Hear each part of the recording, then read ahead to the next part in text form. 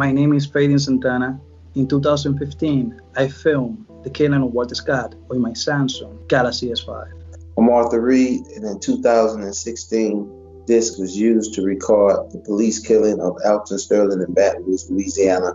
Over the last decade or so, the smartphone has emerged as one of the strongest tools for capturing police brutality and racial injustice towards African Americans. The smartphones, camera are the only thing that we have to protect ourselves but it is a um, weapon that tells the story. This is going to tell what happened to me. This is going to tell what took place. Americans have just witnessed this power to document after Darnella Frazier, a 17 year old in Minneapolis, captured the killing of George Floyd on her iPhone 11. She hit record and held steady for 10 minutes to capture Floyd's final words.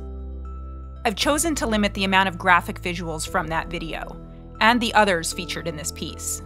The next day, Frazier posted her video to Facebook, and then, well, the world reacted.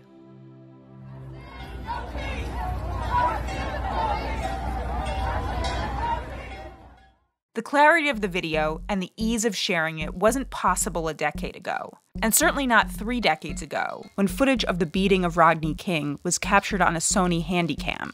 By watching cell phone footage of police brutality from the last 11 years, you can see at least a five times increase in the resolution of images. You can also see how the proliferation of smartphones and social media made it easier for more and more people to capture and see the side of the story that before was so easily lost. In 2009, cell phones were used for one of the first times to capture police brutality. At the Fruitvale BART transit station in Oakland, California, various bystanders captured footage of an officer shooting 22 year old Oscar Grant. Some views were captured by point and shoot cameras, like Karina Vargas's Fujifilm FinePix, which could only capture 480p footage. Others with flip phones with 1.3 megapixel cameras that shot 240p video captured the incident.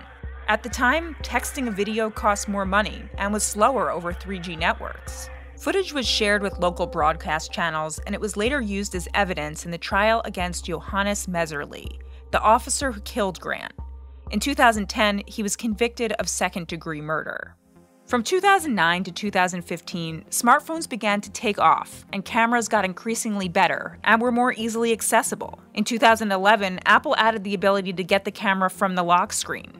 The video cameras got the ability to shoot HD video, and storage increased so we could all shoot more of it. Later that year, Pew Research Center started reporting smartphone ownership. 35% of Americans owned a smartphone.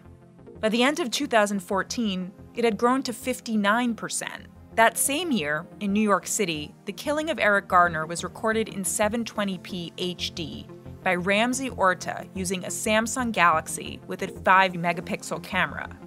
The video was given to the Daily News, and it quickly spread online via YouTube. Though Garner's death was ruled a homicide, the officer involved was not indicted. By 2015, 69% of Americans had a smartphone. Feidin Santana was one of them. In March, he got a new Samsung Galaxy S5 as a present. The first thing he filmed on it Officer Michael Slager shooting and killing Walter Scott in North Charleston, South Carolina. As soon as I heard the taser sound and I heard that they were on the ground. I decided, you know, to to record and just um, try to get as close as possible, you know, so the officer can see me, just you know, to prevent any any bad situation between them. Santana shared the video file with the Scott family, and it quickly made its way to TV and around the internet. The video was used as evidence in the trial, and Officer Slager was sentenced to 20 years in prison. 2015 saw lots of other incidents captured. This was also a very big era for mobile video. Facebook launched its live video service, and Twitter launched the ability to easily upload video from mobile phones. From 2016 to 2019, smartphone ownership went from 72% to 81%. Many incidents were captured during this period, including Diamond Reynolds' Facebook livestream of the shooting of Philando Castile in Minnesota. Then there were multiple videos of the shooting of Alton Sterling in Baton Rouge. Unlimited data plans, social apps that made it easier for sharing video, and the addition of multiple cameras on phones during this time made recording video a reflex action and by 2020 it was for Darnella Frazier. On May 25th, she encountered George Floyd surrounded by police officers in front of Cup Foods in Minneapolis. And she took out her iPhone and began filming. The video and the audio are clearer than any other because of Frazier's proximity to the incident, but also the iPhone's 12 megapixel camera, 1080p resolution, and video stabilization. Fraser uploaded the video to Facebook the following day.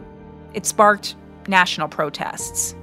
It has happened, it has happened again. It's similar to what um, Will Smith has said. He said that um, racism didn't just start; it's just starting to be filmed now. And when you can see it on film, then you know changes have to come.